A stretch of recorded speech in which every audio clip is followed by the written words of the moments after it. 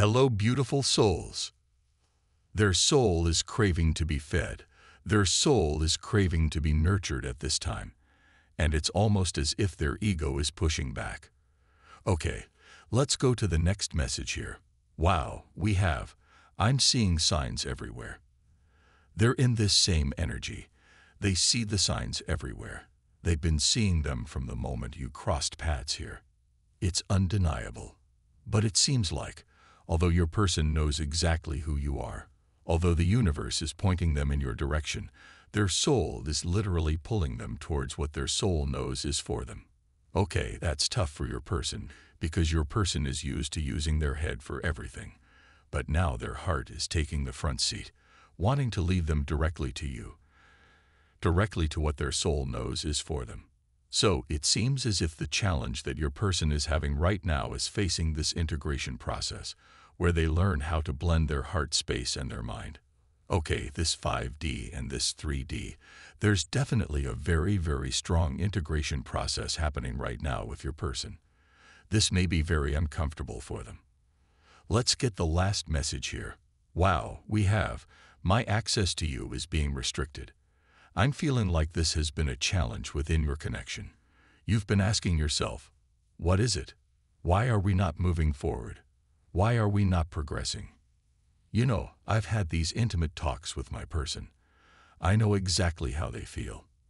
I know how they look at me. You know, I know how they love me. I can feel the energy when I'm in their presence. What is it that's happening here?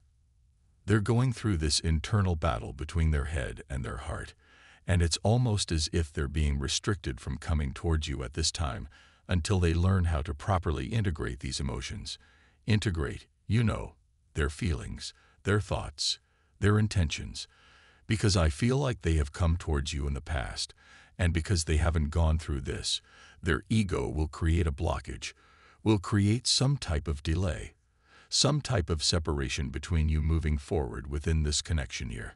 I'm definitely getting that if this message resonated with you, this is your person's higher self coming through, letting you know what it is they're processing at this time.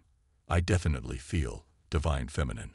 Um, you're at this place where you're waiting for some type of confirmation, even some type of sign from the universe for some of you to move on, to just, you know, hold space for your person.